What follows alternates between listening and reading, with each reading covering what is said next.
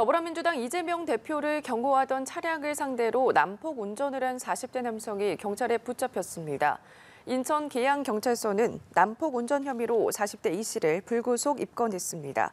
A 씨는 지난달 20일 오후 7시 반쯤 인천 계양구 도로에서 이 대표를 경고하던 경찰 승합차를 향해 반복적으로 경적을 울리거나 무리하게 끼어들기를 시도하며 위협한 혐의를 받습니다.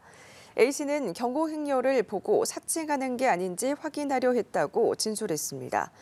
A 씨가 몰던 1톤 화물차에는 정부와 민주당 등을 비판하는 문구가 적혀 있었지만 경찰은 계획적 범행은 아닌 걸로 보고 수사 중입니다.